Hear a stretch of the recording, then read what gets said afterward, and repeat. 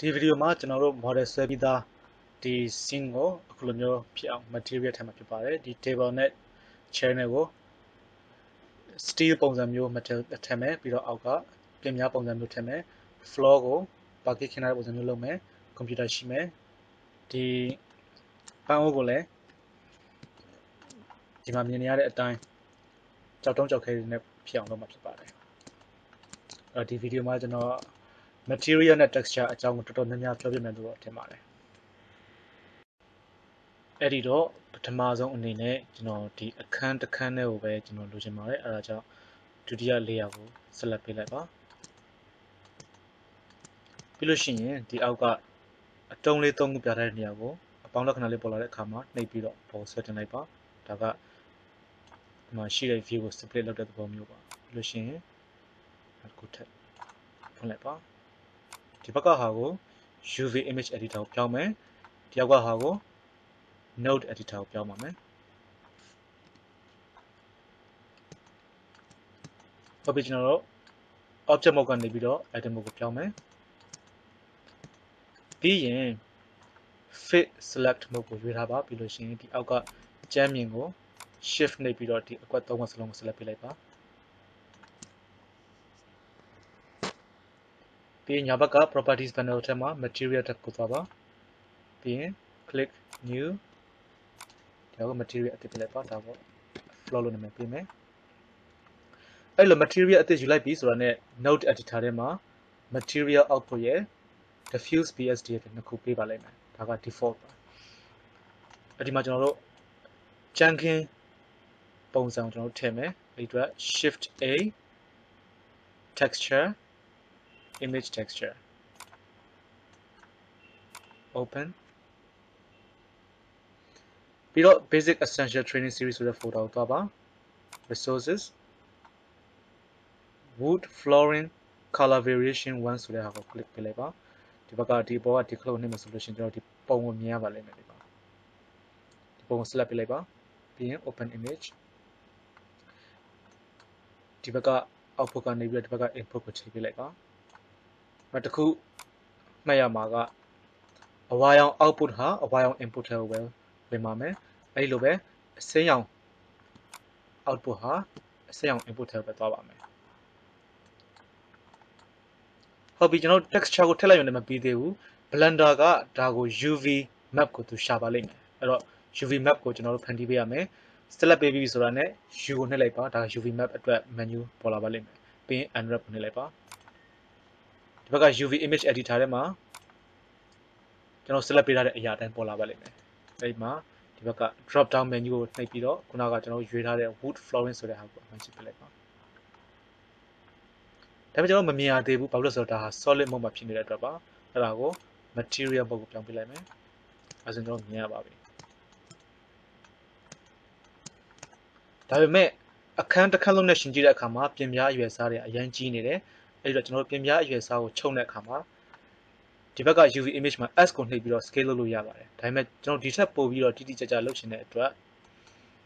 node editor ထဲမှာကျွန်တော်ပြောင်းပါမယ်အဲ့တော့အခု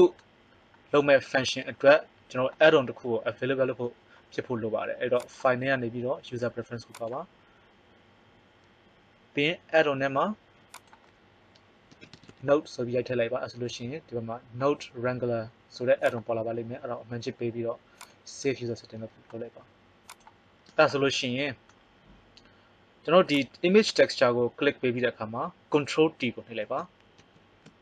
အခုနောက်က node wrangler add-on ကို available ဖြစ်အောင်လုပ်ပေးထားတဲ့အတွက်သူဟာ control T နှိပ်လိုက်ပြီဆိုတော့ ਨੇ ဒီ image texture အတွက် mapping node ရဲ့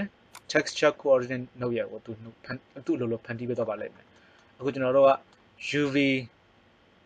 property ကိုသုံးထားတဲ့အတွက်ဒီဘက်က U ကိုသူပေးထားတာပါဟုတ်ပြီဒီမှာ scale ဆိုတဲ့ဟာရှိတယ်အဲ့တော့ကျွန်တော်ဒီဟာကိုခြုံချင်တာဖြစ်တဲ့အတွက်အခုရှိနေတဲ့ပုံရဲ့၅စကျွန်တော်တို့ခြုံမယ်အဲဆိုလို့ရှိရင် mouse ကိုဒီမှာနှိပ်ပြီးတော့အောက်ကိုဆွဲချလိုက်ပါသုံးခုစလုံး select ပေးပြီးသားဖြစ်သွားမယ်ပြီးလို့ရှိရင်၅ကိုနှိပ်လိုက်ပါပြီးရင် enter အဲဆိုဒီမှာကျွန်တော်မြင်တဲ့အတိုင်းသူဟာ၅စ scale ခြုံသွားပါလိမ့်မယ်ဒါမလို့ကျုံးဆိုလို့ရှိရင်ကျွန်တော်အရင်သေးနေတယ်ထင်ရတဲ့အတွက်ဒါ3လောက်ထားကြည့်မယ်ဒါမှမဟုတ်ရင်4ဟုတ်ပြီအဲ့ဆိုကျွန်တော်ဒီဘက်ကဒီ UV image editor မှာ scale လုပ်စရာမလိုဘဲနဲ့ node editor မှာကျွန်တော်လုပ်လို့ရပါတယ်ဟုတ်ပြီကျွန်တော်ဒါမဲ့ဒီကျန်တဲ့အခန်းရဲ့တခြားနေရာတွေကိုကျွန်တော်တခြားရောင်ထည့်ခြင်းတယ်အဲ့ဒီအတွက် edit mode ကနေပြီးမထွက်သေးဘူး material tab တမှာ plus sign ကိုနှိပ်လိုက်ပါဒါ material အသေးယူတာ new ဒါကို wall လို့နာမည်ပေးလိုက်မယ်အဲ့ကျွန်တော်ထည့်ခြင်းတဲ့အရာကိုထည့်ပါမယ်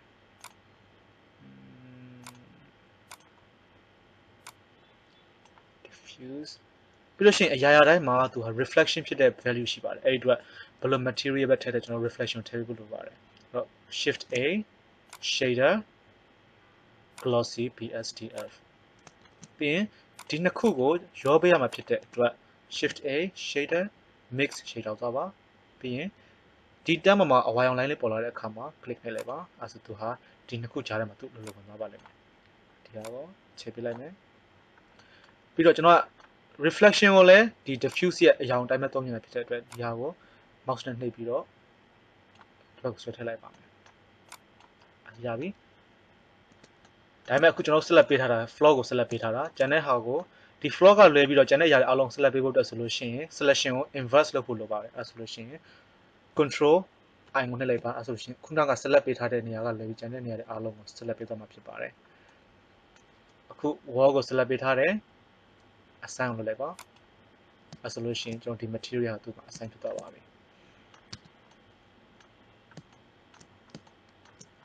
ရှုပ်ထွေးတဲ့အပိုင်းကိုအရင်ကြည့်ကြရအောင် ကျွန်တော် UV image editor ပိတ်လိုက်မယ်ဒီအောက်ကခလုတ်လေးကိုနှိပ်ပြီးတော့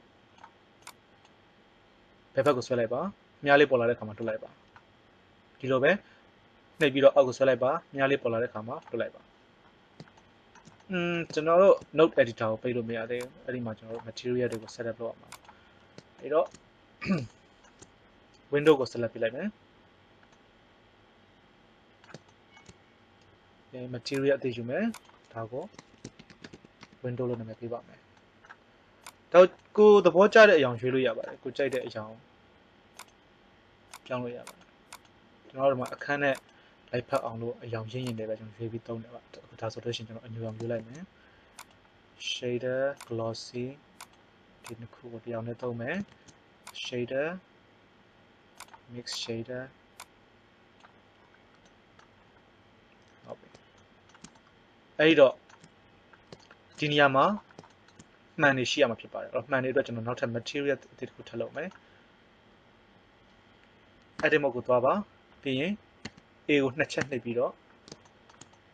all select လုပ်လိုက်ပါပြင်တာကို assign လုပ်ထားပါသိကြအောင်လို့ material အသေးယူမယ် new ဒါကို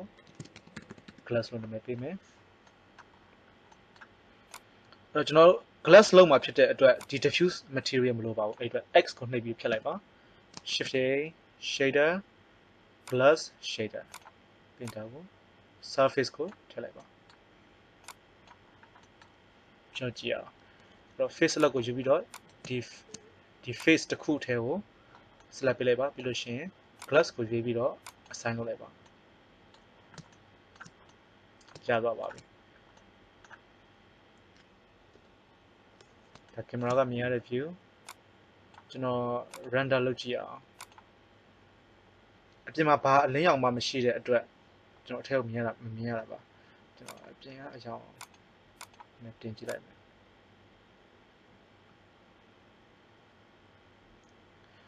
အာအပြင်ကအရောင်မတင်မဲ့ကျွန်တော်အပြင်ကနေပြီးတော့ light source တစ်ခုကိုထည့်ကြည့်ပါမယ် ဒါကအလင်းရောင်ကိုကျွန်တော်ပြဖို့အတွက်ကိုတက်တက်လောက်တာပါလိုက်ပြီးလောက်ဆရာမလိုပါဘူး lamp sun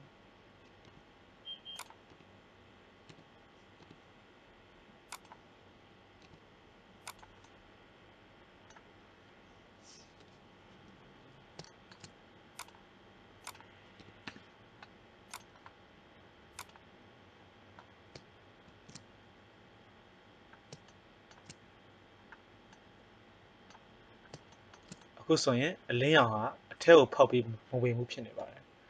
အဲ့တော့သူ့ရဲ့အဓိပ္ပာယ်ကကျွန်တော်တို့လုပ်ထားတဲ့ glass material ဟာမမှန်ကန်ဘူးဆိုတဲ့သဘောပါပဲဟုတ်ပြီကျွန်တော်ကဒီ glass material ပေးဦးနဲ့မရဘူး glass ဟာဘလို့ property ရှိလဲဆိုတော့သူဟာ transparent property ရှိပါတယ်ဖောက်ပြီးတော့မြင်ရတဲ့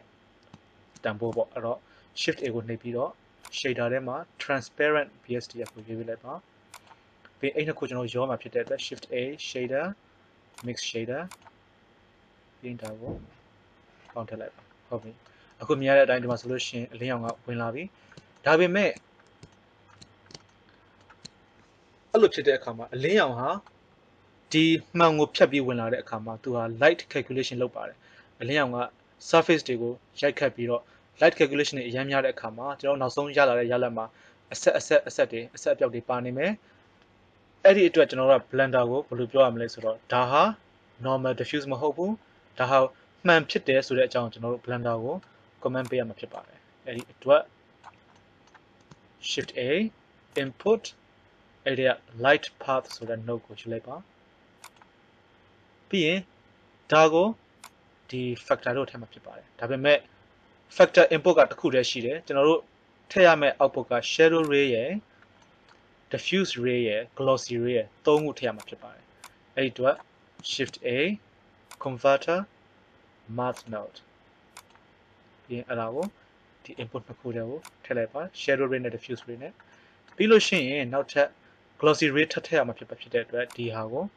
shift d ကိုနှိပ်ပြီးတော့ copy ကူးလိုက်ပါပြီးရင်ဒါကိုဒီတော့ထည့်မယ် glossy ray ကိုအောက်က input ထည့်မယ်ပြီးလို့ရှိရင်ဒါကိုမှ factor value တော့ထည့်ပေးလိုက်ပါ အဲဒီတော့အခုဆိုလို့ရှိရင်အလင်းရောင်ပုံဝင်လာတာကိုတွေ့ရမယ်ပြီးတော့ကျွန်တော်တို့ရဲ့နောက်ဆုံးရလဒ်မှာအဆက်အပြောက်တွေထားမှာမဟုတ်တော့ပါဘူးပြီးတော့ဒါကလည်း glass material အတွက်အမှန်ကန်ဆုံး node setup ပါဒီဟာ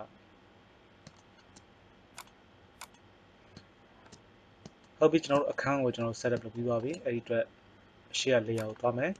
ကျွန်တော်ဒါတွေကို material ထည့်ပါမယ်ပထမဆုံး table ကိုကျွန်တော် material ထည့်မယ်ဒါဟာ ဒီနေရာမှာအခက်အခဲဆုံးဖြစ်မယ်လို့ထင်ပါတယ်ဒါပေမဲ့ကျွန်တော်လွယ်အောင်လို့ပြပါပြပေးပါမယ် edit mode ကိုသွားမယ်ပြီးရင်ကျွန်တော်ကဒီ table အပေါ်ပိုင်းကို steel ခုံလိုမျိုးကျွန်တော်လုပ်ချင်တာဖြစ်တယ် steel ဟို material တစ်ခုလိုမျိုးပေါ့အဲ့ဒီအတွက်အနည်းကိုယူမယ်ဒါကို metal နာမည်ပေးလိုက်မယ်အဲ့လိုနာမည်ပေးလိုက်ပြီဆိုတာနဲ့ဒီမှာ ခုနကကျွန်တော်ပြောထားတဲ့အတိုင်း diffuse နဲ့ material output ကိုပေးပါလိမ့်မယ် diffuse ကိုကျွန်တော်မလိုပါဘူး x ကိုလည်းဖြတ်လိုက်မယ်ပြီးတော့ဘယ်နေရာကိုဒီ material apply လုပ်စေချင်တယ်လို့ဆိုတော့ကျွန်တော်ပြောမှာဖြစ်တဲ့အတွက် select ပေးပါမယ်ကျွန်တော်လိုချင်တဲ့အပိုင်းကို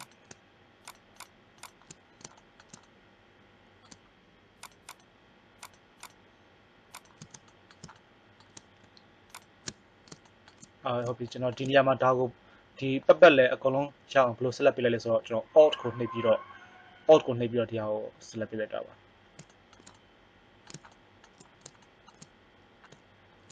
alt နဲ့ shift နဲ့နှိပ်ပြီးတော့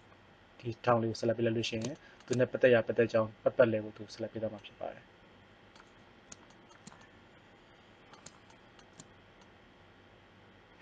ဟုတ်ပြီလောက်ဆိုရပါပြီကျွန်တော်ဒီနေရာကိုပဲကျွန်တော် steel လို့မျိုးလုပ်မှာပါအဲ့အတွက် assign လုပ်လိုက်ပါ material view ဘာမှမမြင်သေးဘူးကျွန်တော်တို့ဒီမှာ material ကိုလောက်အောင်ပြပါဒါပေမဲ့အဲ့လိုလုပ်တဲ့အခါမှာအရန်ရှုပ်ထွေးတဲ့အတွက်ကျွန်တော် season ပြီးသား blend file တစ်ခုကိုကျွန်တော်ဒီထဲကိုထည့်ပါမယ်အဲ့ဒါကို append လုပ်တယ်လို့ခေါ်ပါတယ် file နဲ့နေပြီးတော့ append sorry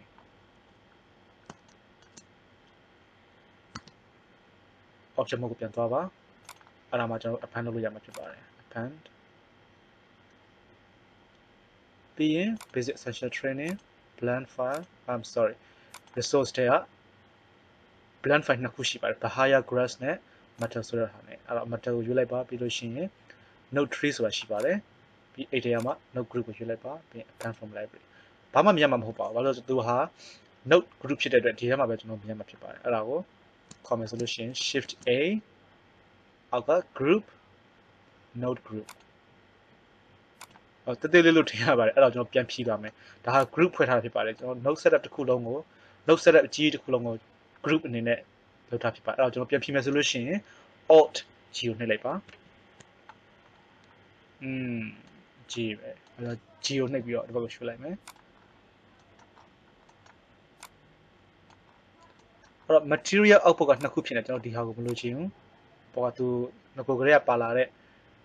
ဟာကိုကျွန်တော်မလိုချင်ဘူးဒါကိုကျွန်တော်ဖြတ်ပါမယ်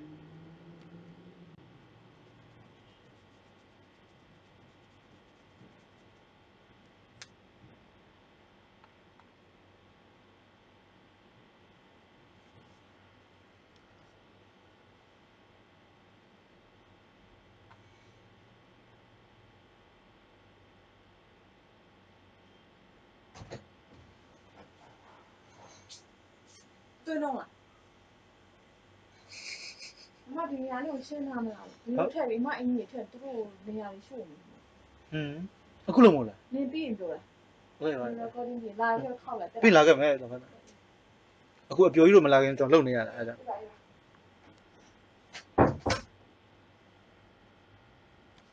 ဘိုင်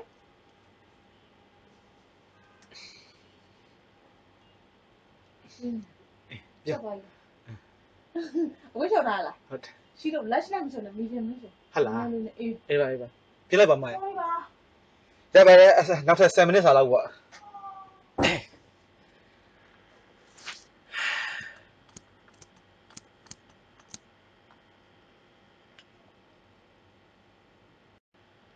ဟုတ်ပြီ table ကပြီးသွားပြီ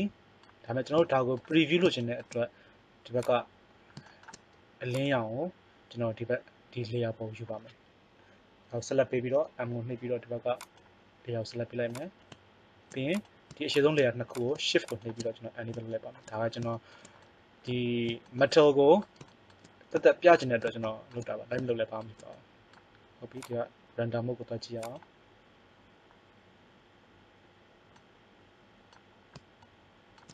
อืมဒီမှာဒီခုံပေါ်ကိုကြာနေတဲ့ reflection ကိုကောင်းကောင်းတွေ့ရမှာဖြစ်ပါတယ် ဒါက steel ခုံပါအဲ့တော့ဒီမှာအခြေအရာတွေပါမယ်အဆင်းအအခြေအရာတွေပါမယ်ဒါတွေကိုရအောင်လုပ်ဖို့တက်ဆိုလို့ချင်းခုန note 3အကြီးကြီးအရန်ရှုပ်ထွေးတဲ့ note setup ကိုလုပ်မှရမှာပါဒါပေမဲ့ဒါကိုကျွန်တော်လွယ်လွယ်ကူကူဖြစ်အောင်လို့အဖန်လုပ်တဲ့စနစ်နဲ့ကျွန်တော်လုပ်ရတာဖြစ်ပါတယ်ဟုတ်ပြီ shift set ကိုနှိပ်လိုက်လို့ရှိရင်ဒါက solid mode နဲ့ random mode နဲ့တွားပြန်လုပ်တာဖြစ်ပါတယ်ဒါကျွန်တော်တို့ရဲ့တသားခုံတသားခုံဟာတခြားကြည့်တဲ့အခါမှာ လုံးဝပြချက်ချက်ကြီးဖြစ်နေပါတယ်ပြောမယ်ဆိုလို့ရှိရင်ပုံဓာတ်ပုံပေါ်မှာ print ထုတ်ထားတဲ့အတိုင်းဖြစ်နေပါတယ်အဲ့တော့ဒါကိုကျွန်တော်တို့အဖို့အထစ်တွေကြွတ်တက်လာအောင်ကျွန်တော်လုပ်မယ်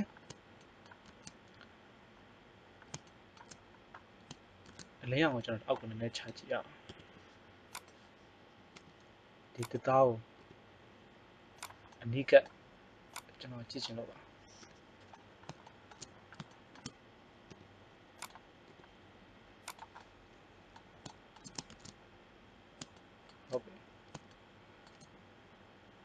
အော်ဒါဟာ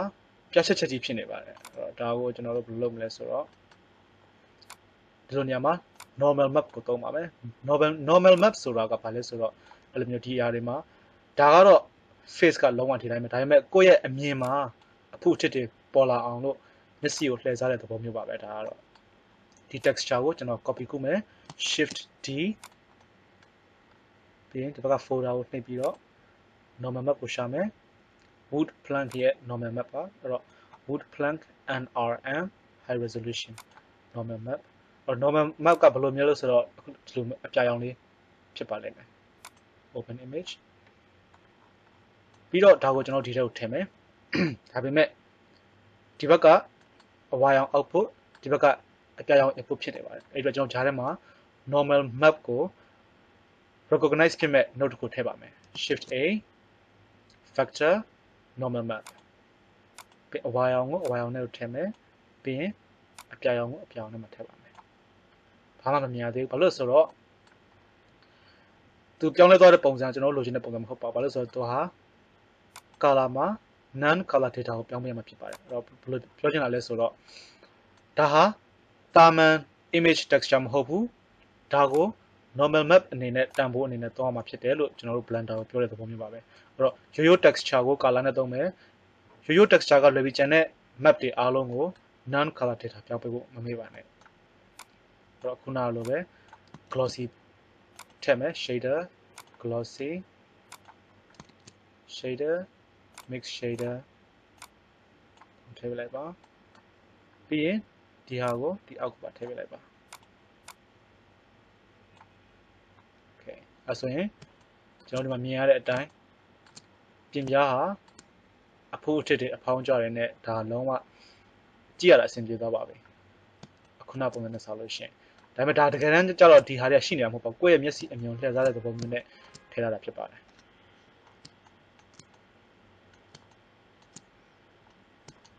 အရပြပြများနဲ့မတူဘူးအခုကအရန်ကြီးတောက်ပနေပါတယ်အဲ့တော့ကျွန်တော် reference ကိုဒီမှာ ဒီဒီ value ကိုကစားကြည့်ရအောင်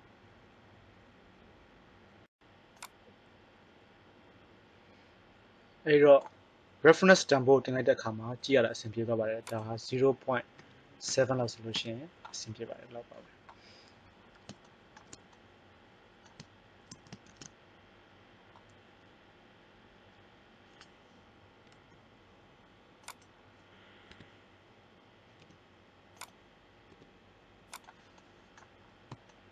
ဟုတ်ပြီအခုဆက်ပြီးကျွန်တော်ဒီ computer ကိုအရောင်ထည့်မယ် computer ကို select ပေးလိုက်ပါ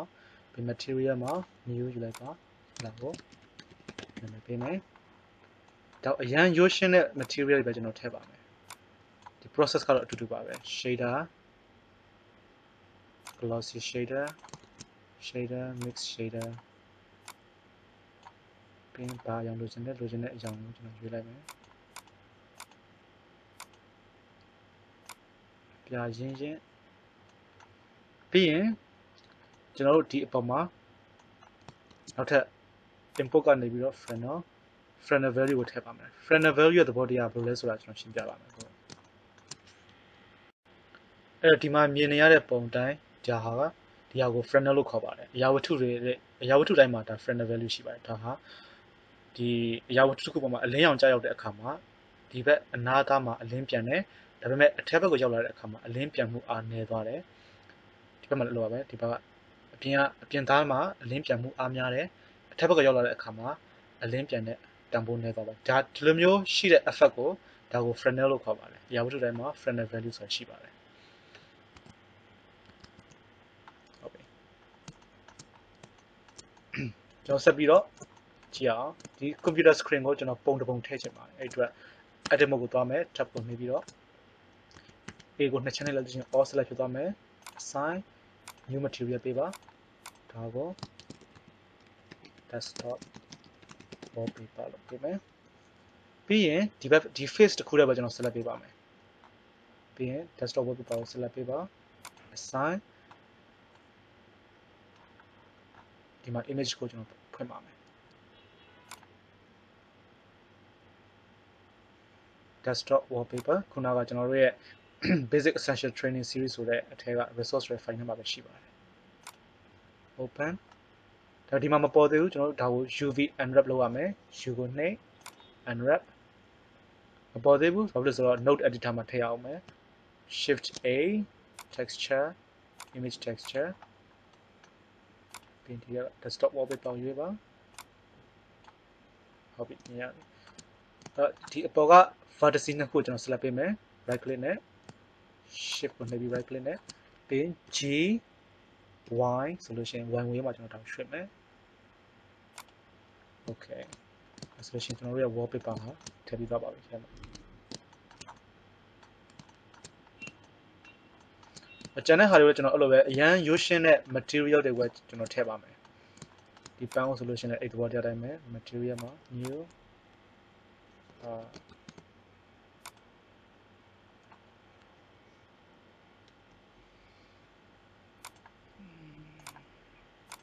ဒါကိုပေါ်လို့နေပြင်မယ်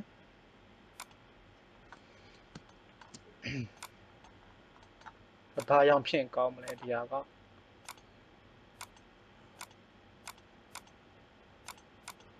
အစိမ်းအရှင်းရောင်အစိမ်းပုတ်ရောင်လည်းကျွန်တော်ပေးလိုက်ပါမယ် shader glossy shader mix shader ဒါကပုံမှန်လုပ်နေကြရန်ရိုးရှင်းတဲ့ shader တွေပါပဲဒါက glossy ရယ် diffuse ရယ် fresnel ရယ် mix shader ရယ်ပြီးရင်ကိုကြိုက်တဲ့အရာကိုရွေးပေးလိုက်အောင်ပါပဲဟုတ်ပြီဒီ chair ကိုလည်းကျွန်တော်ဒီခုံအတိုင်းလုပ်ချင်တယ်တချို့နေရာတွေမှာ steel တချို့နေရာတွေမှာတစ်သားအဲ့တော့ဒီညမှာကျတော့ထိုင်တဲ့နေရာကိုထိုင်တဲ့နေရာနဲ့ကြောမိနေကိုကျွန်တော်တစ်သားလုပ်မယ်ကျန်တဲ့တန်းတွေကိုတော့ကျွန်တော် steel ထည့်ပါမယ် edit mode ခဏတစ်သားကိုကျွန်တော်ပြန်ရွေးပေးမယ်ဒီဘက်က wood plank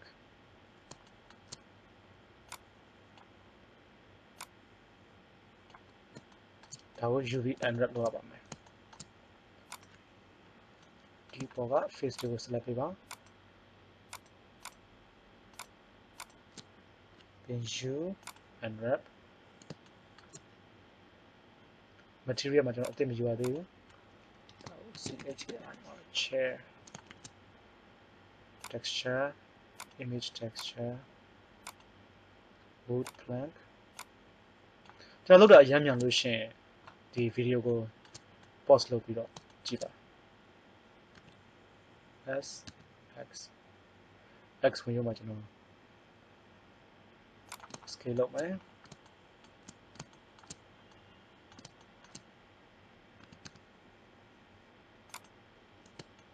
ဟုတ်ပြီဒီဘက်က face 3ကို select ပေးမယ်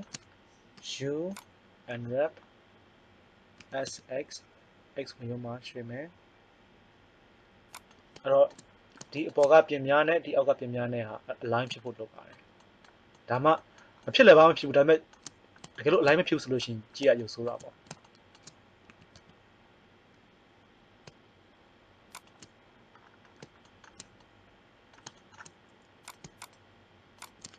shoe unwrap ။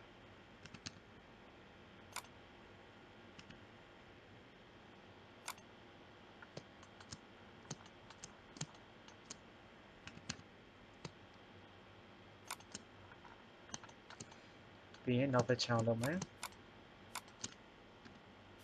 နောက်ဘက်ချောင်းတော့ဒီလိုမျိုး vertical ဖြစ်လို့မရပါဘူး။ကျွန်တော်မြင်ရတဲ့အနေထားရဆိုလို့ရှိရင် R90 ပြီးရင် S ပြင်များနှစ်ချောင်းလောက်ဆိုရင်တစ်ချောင်းမလုပ်မယ်ကျွန်တော်ပြင်များတစ်ချောင်းပဲဟုတ်ပြီဒီဘက်ကလည်းအတိုင်းပဲ U and wrap ပြီးလို့ရှိရင် R 90 degree S ကိုနှိပ်ပြီးတော့ scale လုပ်ပါပြင်များတစ်ချောင်းစာပဲလုပ်မယ် okay ပြီးဒီဘက်ကကြောမီကိုကျွန်တော်လုပ်မယ်အဲ့တော့ကြောမီကိုခုနတိုင်တွေကိုလုပ်ခဲ့တဲ့အတိုင်းပဲကျွန်တော် seam ထည့်ပါမယ် H select ဒါကို select ပေးပါပြီးလို့ရှိရင် control E mark seam ပြီး face select alt ကိုနှိပ်ပြီးတော့ set ပြန်ပတ်ပတ်လည်ကို select ပေးပြီးတော့ဖြစ်သွားမယ် U and wrap R 90 degree ပြီး scale ဟုတ်ပါ ပြင်များပြင်များ၃ချက်စာကျွန်တော်လုပ်ပါမယ် okay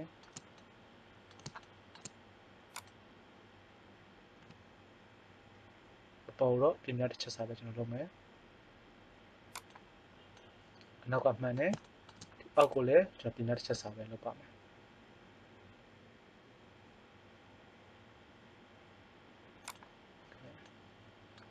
အခုနောက်ကကျွန်တော်တို့ဒီဘက်မှာလုပ်ခဲ့တဲ့အတိုင်း ဒီဟာကို bump bump map ထည့်ပါမယ် domain map ပေါ့ပြောမယ်ဆိုလို့ရှိရင်အဲ့တော့ diffuse shader glossy shader mix shader ပြီးရင် texture image texture ပြီးရင်ကျွန်တော် normal map ကိုယူမယ်ဒီက wood plank normal map ပြီးတော့ non color data ကိုပြောင်းပါ shift a vector normal map ဒီဒါလေးကိုချက်ပဲကျွန်တော်ခုနကလုပ်ပြီးသားဖြစ်တဲ့အတွက်လုပ်ပြီးသားအဆင့်ဖြစ်တဲ့အတွက်ကျွန်တော်ဒါကိုသိပြီးတော့ဖြည်းဖြည်းစသာသာမလုပ်တော့ပါဘူးအမြန်လုပ်ပါမယ် reference ကို0.7ထားမယ်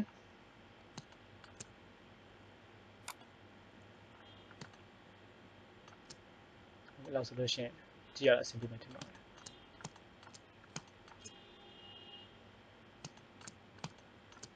ဟုတ်ပြီကျန်တဲ့အပိုင်းကိုကျွန်တော်ဒီ metal ကိုထည့်မယ် metal ထည့်မှာဖြစ်တယ် metal နဲ့ material အတူတူပဲဖြစ်တဲ့အတွက်ကျွန်တော် material အသစ်ယူလိုက်မယ်ပြီးရင် table ရဲ့ကျန်တဲ့အပိုင်းတွေအားလုံးကိုကျွန်တော် select လုပ်ပါမယ်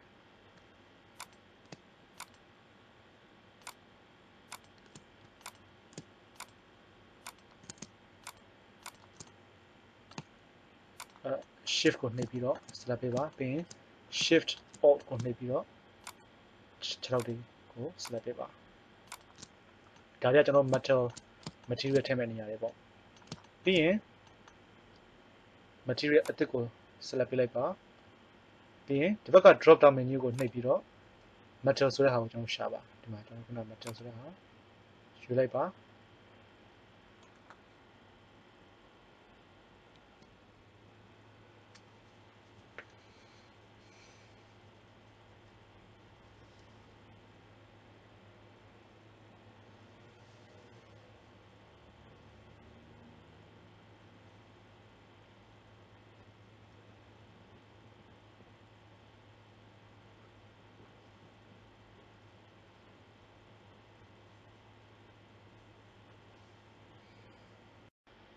အဲ့တော့ဒီဟာကိုကျွန်တော်တို့ vertex paint လုပ်ရပါမယ်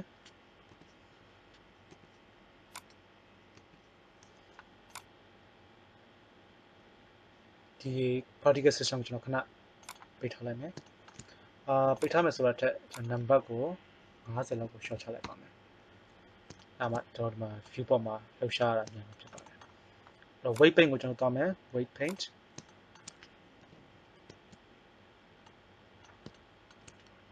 7ကိုနှိပ်ပြီး top view သွားပါပြီးလို့ရှိရင်ကျွန်တော်တို့မျက်ပင်တွေကိုပေါက်စေချင်တဲ့နေရာကို stage ချက်လိုက်မှာဖြစ်ပါတယ်အနီရောင်နဲ့ချက်လိုက်မယ်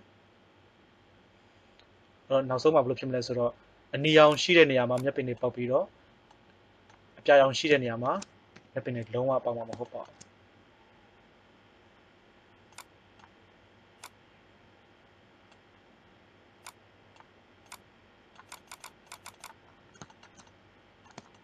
အဲ့လို save ချလိုက်တဲ့အခါမှာဒီဘက်က vertex group ဆိုတဲ့နေရာမှာသူက group တစ်ခုသူကသူအလိုလိုဖန်တီးပြီးသားဖြစ်သွားပါတယ်။ဒါကို object mode ကိုပြန်ပြောင်းမယ်ပြီးရင် particle system မှာအောက်ဆုံးကိုသွားပါဒီမှာ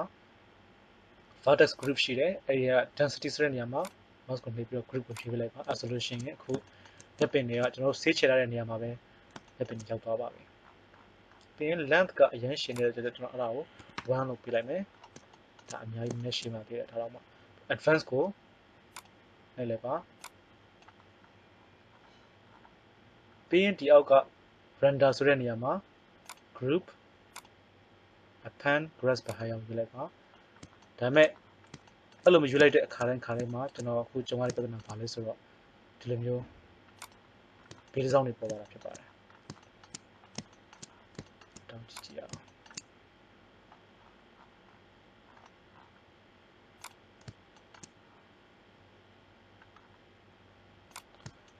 အဲ့လိုမျိုး group မလုပ်ဘဲနဲ့အခုလိုမျိုးပေါ်လာမှာဖြစ်တဲ့အတွက်ကျွန်တော်တို့ group အတစ်တက်တက်လုပ်ပါမယ်ကိုလိုချင်တဲ့မျက်ပင်တွေကြီးပဲပေါ့အဲ့တော့လိုချင်တဲ့မျက်ပင်လေးတွေကိုရွေးလိုက်ပါ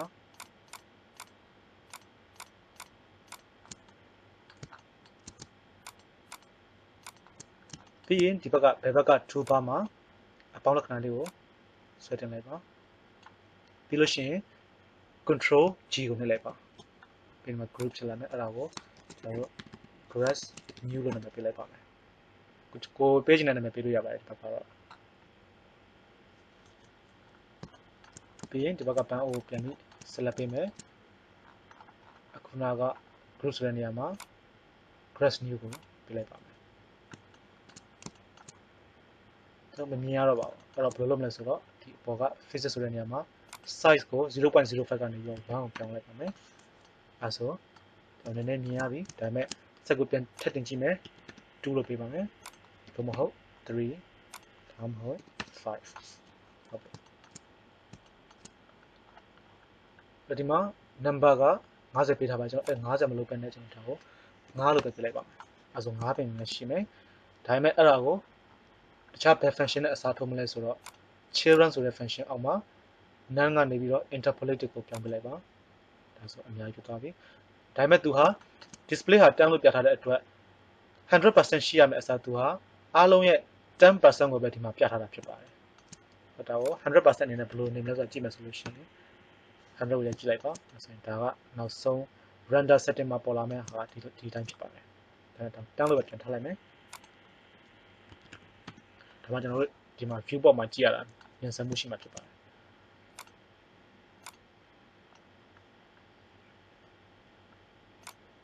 ဟုတ်ပြီ physics ဆိုတဲ့ tab မှာ size ကိုကျွန်တော်တို့ကအားလုံးအတူတူဖြစ်စေချင်တာမဟုတ်ပါဘူး size ကို random ဖြစ်စေချင်ပါတယ်အဲ့အတွက် random ကိုကျွန်တော် random value ကိုကျွန်တော်လည်းတင်ပေးလိုက်မယ်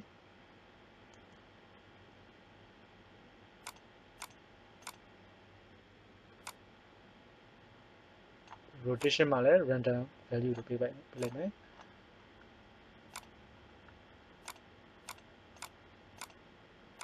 ပြီးရင် phases ကနေပြီးတော့ emission အောက်မှာ vertex ကိုရွေးလိုက်ပါပြီးရင်ကိုကြိုက်တဲ့ပုံစံကိုဒီမှာပြောင်းပေးလို့ရပါတယ်ဘယ်လိုဒီမှာ C ဆိုတဲ့နေရာမှာသူက random ပြောင်းပေးသွားမှာဖြစ်ပါတယ်ဒီ C ကိုပြောင်းမယ်ဆိုလို့ရှိရင်ကိုလိုချင်တဲ့ပုံစံကိုရတဲ့အခါမှာရက်လိုက်ပါ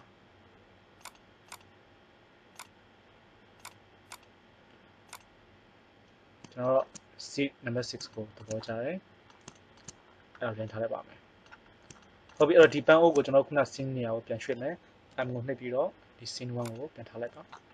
လို့ဆိုဒီ scene ထဲမှာဒီ grass ရှိနေတဲ့အတွက်ဒါကိုကျွန်တော်တို့ render လုပ်တဲ့အခါမှာမမြင်ချင်တဲ့အတွက်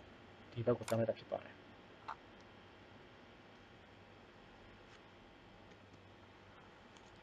အဲ့ဒီတော့ကျွန်တော်တို့ရဲ့အခန်းထဲမှာရှိတဲ့အရာတွေအားလုံးကို UV unwrap လုပ်ပြီးသွားပြီ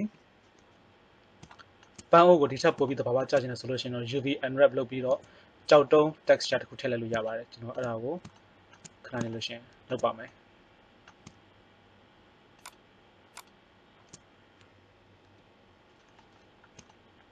ကျွန်တော်အားလုံးကို shift နဲ့ enable လုပ်လိုက်ပါတယ်ပြီးလို့ရှိရင်0ကိုနှိပ်ပြီးတော့ camera view ကိုတွားလိုက်ပါတယ်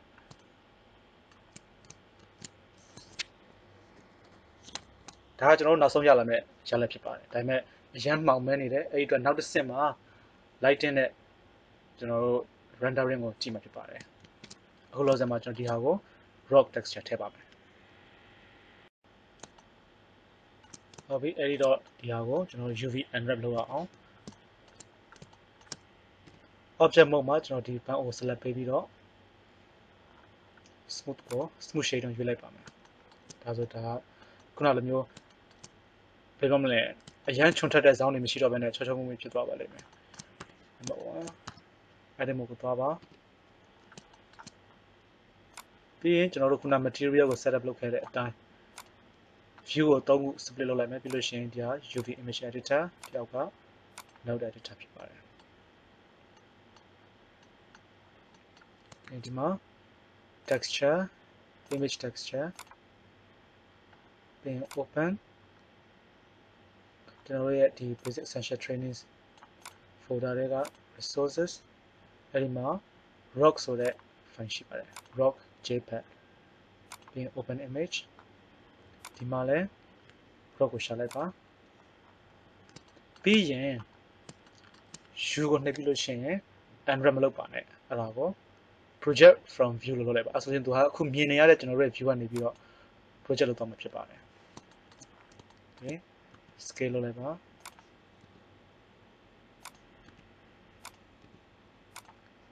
ပြီးရင်ဒါကို diffuse တဲ့ကိုထည့်လိုက်ပါပြီးတော့သူဟာ glossy လည်းရှိတဲ့အတွက် glossy တဲ့ကိုပါထည့်လိုက်ပါဟုတ်ပြီအဲတေချာမမြင်ရတဲ့အတွက်ကျွန်တော်ဒီဟာခုနလိုမျိုးပဲ layer ခုန layer ကိုကျွန်တော်ပြန်ပို့လိုက်ပါမယ်ဒါခုနကတည်းကကျွန်တော်လုပ်ခဲ့တင်တာပါဟုတ်ပြီအဲ့တော့အရှိကနေမြင်တဲ့နေရာမှာအဆင်ပြေတယ်ဒါပေမဲ့ ဘေးကကြည့်တဲ့အခါမှာကျတော့အဆင်မပြေတော့ပါဘူး3ကိုနှိပ်လိုက်မယ် edit mode A ကို A ကိုနှိပ်ပြီးတော့ဒီ select လုပ်လိုက်ပါပြီးရင် B ကိုနှိပ်ပြီးတော့ဒါကို select ပြလိုက်ပါဒါ box select လို့ဖြစ်ပါတယ်ဒါပေမဲ့ကျန်တဲ့နေရာတွေကို select မပေးပါဘူးဒါပေမဲ့မှာ select ပေးတော့တဲ့နေရာရှိတယ်အဲ့ဒါကို C ကိုနှိပ်ပြီးတော့ C ရဲ့ C ကိုနှိပ်ပြီးလို့ရှိရင် mouse ရဲ့အလယ်ဘိန်းနဲ့ဒါဒါတွေကိုချဲလိုက်ပါ isolation 2ဟာ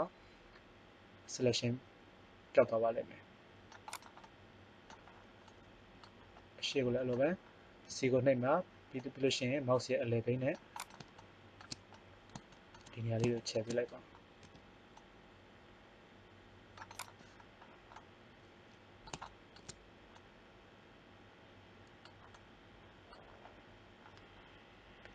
3ပြီးလို့ရှိရင် u project from view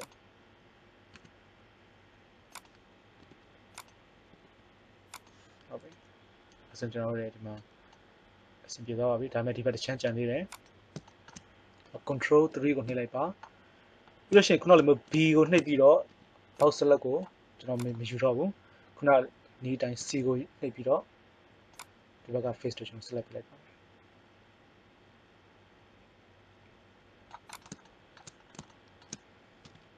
မှာ texture တွေက stretch ဖြစ်နေတဲ့နေရာတွေကိုကျွန်တော်တို့ select ပေးပါမယ် ပြီးလို့ရှိရင် u project from view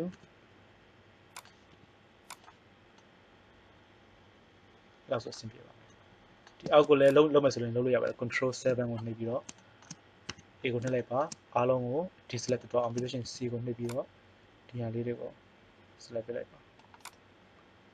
face select C ကျွန်တော်ခုန H select ကိုယူလိုက်ဖြစ်ပါတယ်အခုကျွန်တော် face select ကိုယူလိုက်ပါတယ်ပြီး U project from view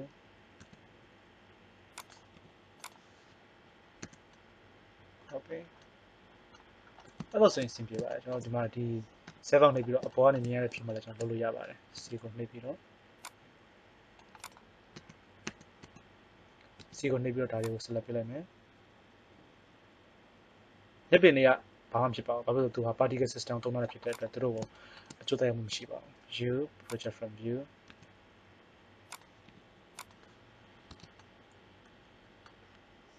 อืมကျန်တဲ့နေရာတွေကကျန်ခဲ့ပါတယ်ဟုတ် edit mode B box select ကျွန်တော် box select ကိုယူလိုက်ပါတယ် view project from view okay လို့ဆိုစင်ပြတချို့နေရာတွေမှာတော့ texture တွေက stretch ဖြစ်တဲ့နေရာတွေရှိတဲ့အတိုင်းမဲ့ကျွန်တော်အခန်းထဲထည့်လိုက်တဲ့အခါမှာတိတ်ပြီးတော့တိတာမှာမဟုတ်တော့ပါဘူးပြန်ပေးလိုက်မယ်ပြီးရင်ခုနလိုပဲ M ကိုနှိပ်ပြီးတော့အရှိရလေးရောက်ကျွန်တော်တင်ထားလိုက်ပါမယ် shift ကိုနှိပ်ပြီးတော့ channel channel layer ကိုကျွန်တော် select ပေးလိုက်မယ်0ကိုနှိပ်လိုက်မယ်အခုဆိုရင်ကျွန်တော်တို့အခန်းကပြီးသလောက်ဖြစ်သွားပါပြီ ပြောမယ်ဆိုလို့ရှိရင် texture နဲ့အပိုင်းကိုပြီးသွားပြီးတော့ပြောလို့ရပါတယ်ကျွန်တော်နောက်အပိုင်းမှာ lighting ရယ် rendering ကိုကျွန်တော်ကြည့်မှာဖြစ်ပါတယ်